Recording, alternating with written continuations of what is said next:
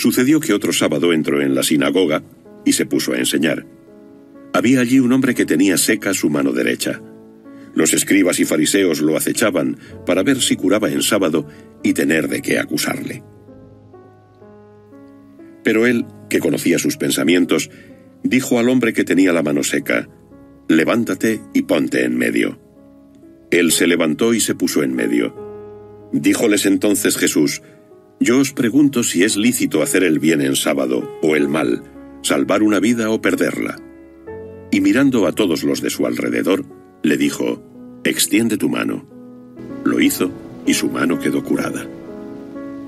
En cuanto salieron se confabularon los fariseos con los herodianos para ver el modo de eliminarlo. Palabra del Señor, mis queridos hermanos. Rompiendo nuestra rigidez de mente y de corazón, Jesús también a nosotros nos puede preguntar qué es lo que está permitido hacer en sábado, el bien o el mal. O también se podría hacer la pregunta más directa, ¿qué es lo que haces en cualquier día? ¿Salvas la vida de una persona o lo dejas morir? ¿Qué es lo que realmente haces en la vida? ¿Pasas salvando o condenando? ¿O pasas únicamente buscando tus intereses, lo que te conviene y no te importa la vida de tu hermano? No lo olvidemos, mis queridos hermanos. Jesús nos mira también a nosotros y quiere nuestra respuesta en la vida concreta de relación que llevamos con nuestros hermanos, porque muchos permanecen tullidos a causa de los pretextos que ponemos,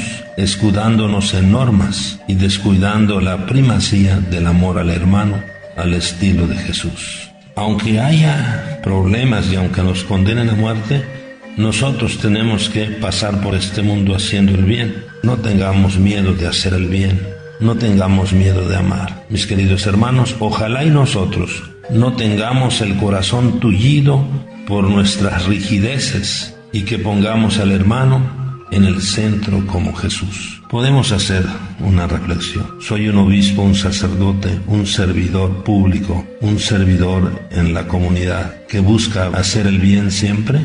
Las normas, mis queridos hermanos, son para mejorar nuestro servicio no son para impedir el servicio por el bien del hermano. Las normas deben tener esta intención, servir mejor al hermano para que tenga mejor vida y manos a la obra. La vida tiene que ser el principio máximo de nuestro actuar. Que Dios les bendiga y sigamos caminando, sirviendo al Señor en la persona del hermano.